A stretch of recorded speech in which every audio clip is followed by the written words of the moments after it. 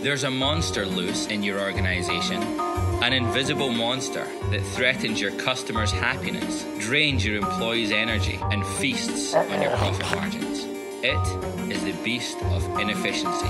And by the time that you realize this beast is in your midst, sabotaging your organization, it may already be too late. Your business is derailed, and you're left wondering what went wrong. How can you tell if this monster is lurking in the shadows? Just follow his trail of devastation. Look around your office, and you may see three telltale signs paper, programs, and processes. Let's look at paper. Do you have too much of it? When it piles up, it's a capability killer. It moves around your office so slowly, just as fast as someone can carry it. It's forgotten on people's desks. But worse than anything, it's easily lost. For your employees, it's like losing their car keys 10, 15 times a day. Yes, too much paper breeds frustration, which drains your employees' energy. But too much paper is not the only sign of inefficiency because even your electronic documents can be out of control. Yes, look at your programs. Do you have multiple programs and systems? Is your critical business information spread across emails, office documents, information in your various applications, in Microsoft SharePoint, and in file shares? Because all that switching between locations looking for information opens the door for error and miscommunication. And that is what threatens your customers' happiness. Third, let's look at your processes.